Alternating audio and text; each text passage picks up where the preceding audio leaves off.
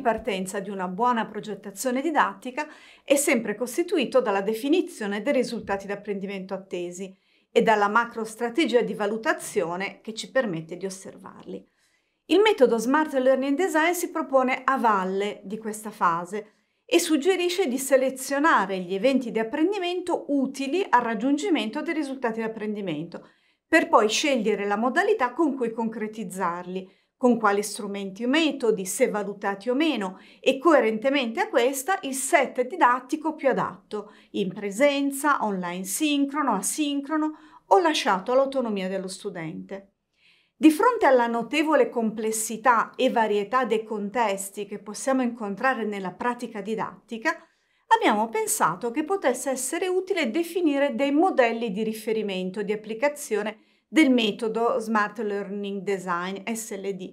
che provino ad integrare le variabili principali in una logica coerente, creando una sorta di palcoscenico di set di riferimento che poi potrete declinare in base alle richieste delle differenti discipline e dell'approccio pedagogico preferito.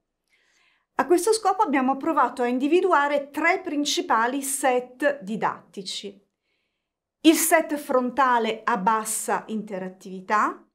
il set ad alta interattività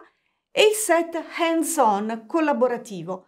che possono essere di ispirazione per la progettazione di un intero corso o anche di un modulo. Questi set fanno riferimento a diverse combinazioni di quattro dimensioni principali. La numerosità degli studenti, il livello atteso di interazioni tra docenti e studenti e tra studenti e studenti, le attrezzature e contenuti digitali di supporto disponibili il grado di flessibilità degli arredi e degli spazi. Il primo elemento che prendiamo in considerazione nella definizione dei modelli di riferimento è il numero di studenti.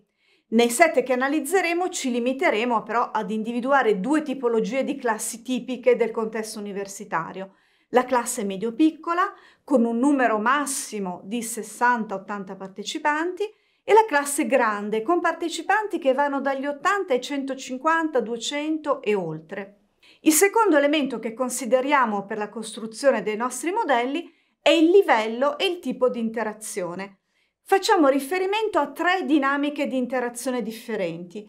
Una in cui l'interattività è principalmente tra il docente e i singoli studenti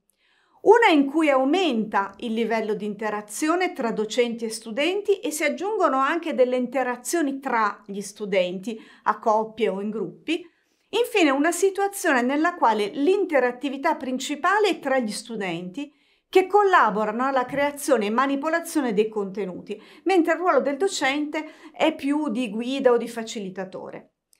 C'è poi un terzo elemento che è utile tenere presente, gli strumenti e contenuti digitali che abbiamo a disposizione a supporto della comunicazione e dell'interazione. In quest'ottica possiamo identificare tre macro categorie di strumenti e di supporti digitali, quelli che abbiamo definito strumenti di base, strumenti di web conference come Zoom, Teams, WebEx, Big eccetera, attrezzature d'aula, hardware e software per la gestione della classe estesa e il Learning Management System come Moodle, Edmodo, Blackboard, eccetera, nel quale possiamo attivare spazi di supporto per i corsi per condividere i materiali, le registrazioni, le comunicazioni organizzative o le consegne.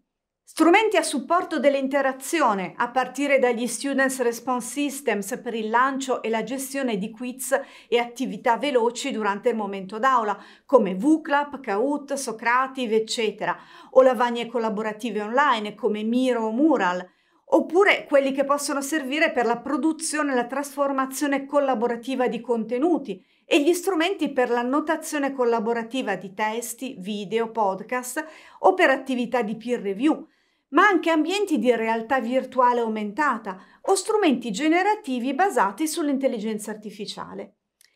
E infine abbiamo i contenuti digitali, i MOOC e le Open Educational Resources da integrare nelle attività d'aula per lo studio e l'approfondimento individuale o a supporto della raccolta di contenuti a bassa interattività. Infine non dobbiamo dimenticare l'importanza del grado di flessibilità dello spazio e degli arredi Da questo punto di vista possiamo articolare gli spazi didattici in spazi rigidi, caratterizzati da sedute e banchi non spostabili e spesso anche da pavimentazione a gradoni, spazi semiflessibili caratterizzati da cattedra, sedute e banchi non fissati a terra, ma spostabili con una certa difficoltà a causa del peso o dell'assenza di rotelle e a volte anche per la scarsità dello spazio libero dagli arredi, e infine gli spazi flessibili, con una pavimentazione piana, arredati con banchi e sedute a rotelle e sufficiente spazio per riconfigurare agevolmente l'aula.